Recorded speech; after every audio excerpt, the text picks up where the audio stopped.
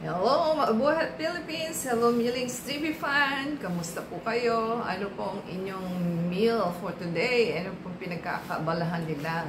Tayo po ay may busy, magiging busy sa kitchen at tayo po ay may masarap na pagkain na gagawin. So, yan po ang ating mga ricado. So, gamit po tayo na ating buttered corn and ating dessert na cranberry. At meron po tayong mas mas potato and a fried chicken. So, yan po ang ating menu. Paki-check na lang po sa ating uh, description box besides the title. And let's bolt in. So, ayan po ang ating chicken. Kailangan gigitan nyo na po at nalinis na, naasinan na. So, kailangan i-marinate na po natin siya. So, para po pumasok yung madaling maluto pag fin-fry yung inyong chicken, same time, mabilis po siyang maluto. So, dahan-dahan lang po sa ating chicken at baka po kung kayo mahiwa. So, ito po yung natira nating chicken sa ating uh, thigh part. So, lagyan lang po natin ng ating calamansi or lemon. So, yan. Kahit isa o dalawa, tatlo. Since kasi aapat na piraso lang naman po ito. Yan. Lagyan po natin ng sesame oil. Para hindi po masyadong dry ang ating chicken. At lagyan natin ng seasoning. Pwede naman din toyo. Depende po sa inyo kung anong choices nyong ilagay. so, para lang po sumarap ang ating chicken na lulutuin. So, kailangan na ano na po natin siya. Na marinade na. Lagyan po natin ng asin. At paminta. Paubos na ating paminta. Wala pa po tayong grocery. So, ayan. Haluin lang po. At hintayin natin siya sa ating uh, ating paggawa ng ibang items. So, itabi po natin. So, gamit po tayo ng cornstarch sa ating fried chicken. At yan po ang ating magiging breadings ba. Pagka pinirito nyo na po. So, konti lang naman po ang ating chicken. 4 pieces. Saka po lagyan ng paminta and asin para po mag-blend yung ating chicken. Yan. Ka-blend po is Pagka-marinade, yan po natin siya ilalagay. Saka natin siya ipiprito. So, lang po natin. So, ayan, nahugasan na po natin ang ating patatas. At kailangan po is hatiin po natin siya at ating pong pakukuluan. Hatiin nyo lang po siya ng maliliit para mabilis siyang maluto. So, ganyan lang po. In 20 minutes po magluluto na siya. Yan. Hinihintay lang po natin ang ating tubig mainit. So, ayan.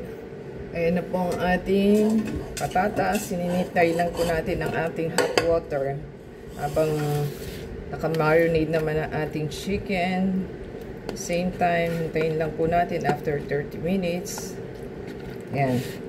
Yan lang po ang ating pagkain at saka na ating corn. Handa din po natin na ating corn. So, itayin lang po natin. So, yan po ang ating buttered corn na ating gagawin. At lalagyan lang po natin siya ng ng salt and pepper. Kaya, salt lang, pwede na. Or, konti lang naman po kasi salted po ang ating butter. Gagamit po tayo ng butter. Suntiin lang po natin o kumuha lang po tayo ng kapiranggot. At i-melt po natin sa ating corn.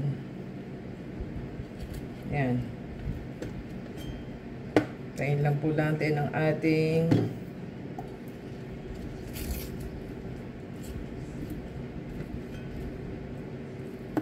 Yan.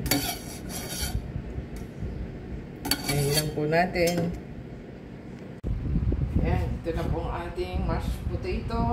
Power on lang po natin at ready na po siya. Lagyan po natin ang ating hot water. Para mag-start na po ang cooking. So, timer po natin ang ating set po natin siya sa 20 minutes or 21 kasi magbo-boil pa po siya. Yan. Tingin lang po natin. Yan. So, tingin lang po natin siya. Ayan. Nag-alarm na po ang ating potato at ating po ilalagay ang ating corn. Tuwin po natin ang ating corn para mag-start na po siya. Alarm po natin. Iset natin siya sa timer. Maybe natin 10 minutes or 15 minutes. And po natin ang ating corn.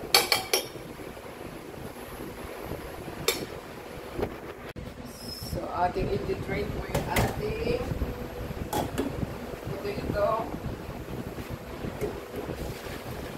Drain lang po natin para ma-smash natin o mash natin ang ating potato. At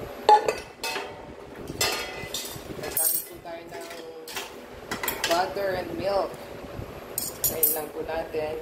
Ayan. Uh, strainer na po natin ang ating potato at ating pong imamash. Kailangan po durog na durog siya para maganda ang inyong mashed potato. Yan. Kain lang po natin.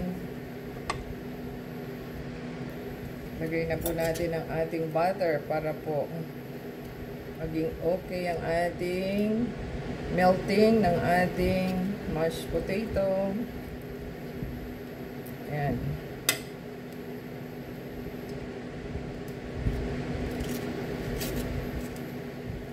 Melted butter po ito para at least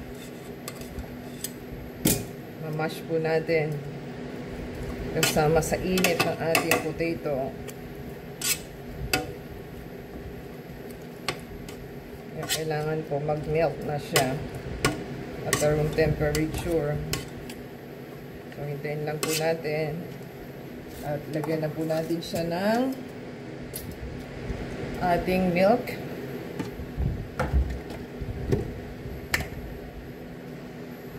So, lagyan po natin siya ng one-third na milk para po mas yummy.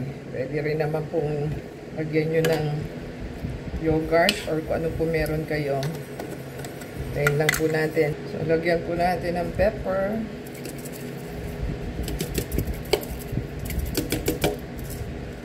At salt.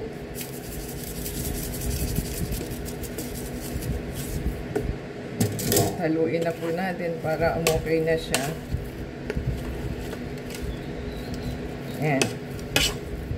Pagkahalo nyo, pwede na po yan. Ready to eat.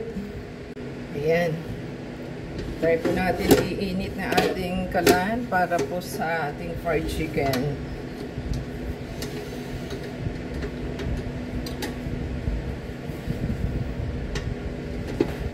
Power on na po natin siya. Tabi at gawin po natin ang ating uh, pang breadings. At ating pong cover ng cornstarch, salt and pepper. Yan. Tayin po natin. Ayan. Uh, ano na po natin ang ating breadings sa ating chicken. Try po nating ihulog at mainit na po. Dahan-dahan lang po, baka tumalsik. Ayan. Apat na piraso lang po ang ating chicken.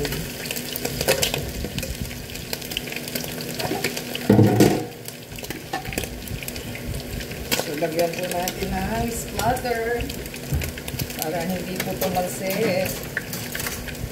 Pag tumatalsik ay hindi maganda. So, ito po ang ating splatter. Ayan lang po. Para po yung ano niya. Ayan. Ayan lang po natin. Ayan po ang ating kaganahan sa ating pushe, sa ating pinakain. Malapit na po tayo matapos. So, ang gagawin po natin is yung next na ating cranberry sauce. Kaya lang po natin ating chicken dyan. Ayan. Ito po ang ating cranberries na chill na. Mali po kami may isda pa naka-chill. So, ito po ang ating style ng ating chicken opener. Then, wala po tumatagal na chicken opener sa ating pag nakikirapan po tayo. So, ito po ang pili ng chicken opener. Mas maganda po, lifetime pa to. Ito ang madalas kong ginagamit. So, yun lang naman po. Bukas lang po nila at